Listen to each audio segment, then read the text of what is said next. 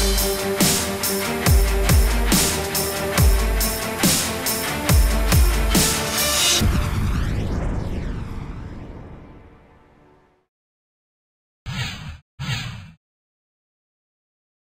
От вчера сме в политическа криза, заяви президентът Росен Плевнелев в началото на консултациите с ГЕРБ.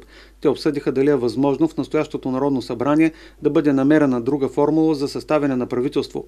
Разискваха и какво ще трябва да свърши 43-тото Народно събрание преди евентуални предсрочни избори. След срещата Бойко Борисов предложи от БСП да се опитат да направят правителство. Господин Радев и госпожа Йотова, ползвайки своите кадри, само преди две години са били на власт това не е като аз от кмет, когато станах премьер, трябваше да събирам хора.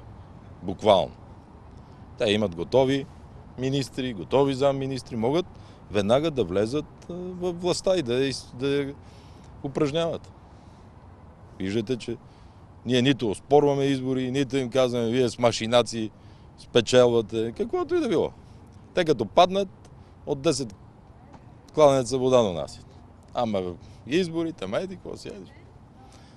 За мен е достатъчно, че усещането, че те са ни победили, го има. Факт е. И това ми стига. Утре консултациите при президента продължават с втората по големина парламентарна група на БСП Лява България.